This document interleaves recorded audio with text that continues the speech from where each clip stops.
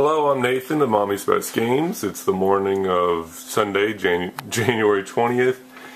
And here's the second video diary for our game jam for uh, Ouya, for the CREATE Game Jam. And I've got more going now. We've got collision. Um, we've got a lot more blocks in place.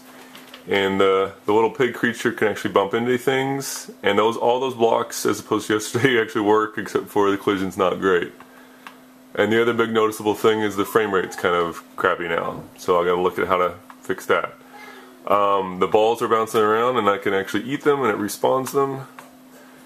And let's see if I can grab this one there. Yeah. And there you go. So the balls are balls are moving. Um, the, the, collision stinks and the frame rate's bad. So got some exciting stuff to do today.